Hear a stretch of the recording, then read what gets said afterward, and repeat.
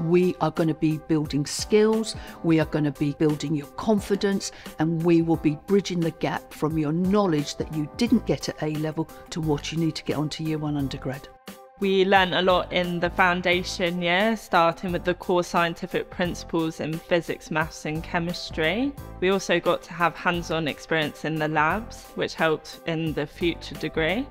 You are from day one a university student. You have access to the library, you have access to all the facilities, everything that you need. There was lots of university events where you could meet other people on your course as well as getting to know the lecturers better, which helped you kind of make the step from school to university quite nicely.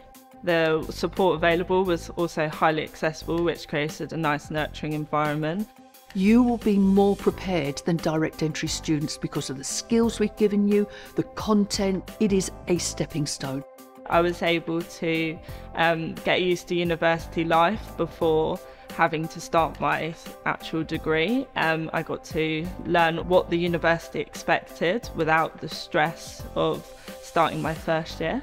Since finishing secondary school, I've always known I wanted to be a civil engineer. So, coming to the University of Surrey, doing the foundation year and doing the civil engineering degree, I've been able to get onto the grad scheme that I've always wanted to do. And so, I'm really proud of this achievement. If I could summarise my time here in three words, it would be supportive, collaborative, and engaging.